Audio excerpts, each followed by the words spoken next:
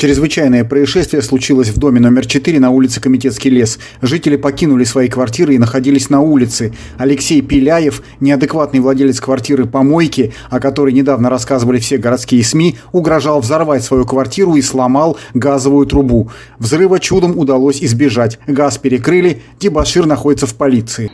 Да, вот сосед сейчас открыл газ, хотел взорвать дом, еле успели. Хорошо, вот газовщики вовремя подъехали.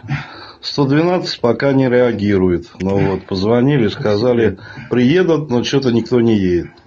То есть разницы нет, что звонить в милицию, что звонить 112. Быстрее от этого никто не едет. Вот такой вопрос. Мне раз обращались в администрацию, администрация города в курсе. То есть нас взрывают, они ничего не делают.